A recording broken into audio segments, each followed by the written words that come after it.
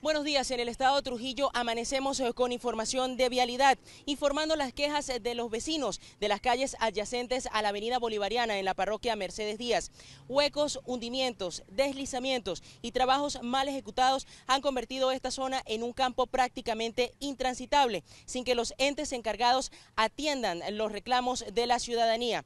Padres y representantes son temerosos de los peligros que representan estas fallas en el asfalto para los niños y adolescentes eh, que estudian en y escuelas cercanas.